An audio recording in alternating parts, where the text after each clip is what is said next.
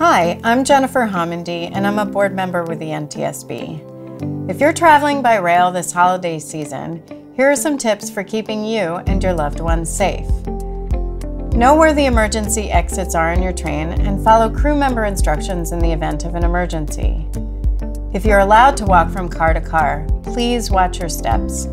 And finally, whether you're driving or walking near grade crossings, always obey warning signs and signals and cross train tracks only at designated areas.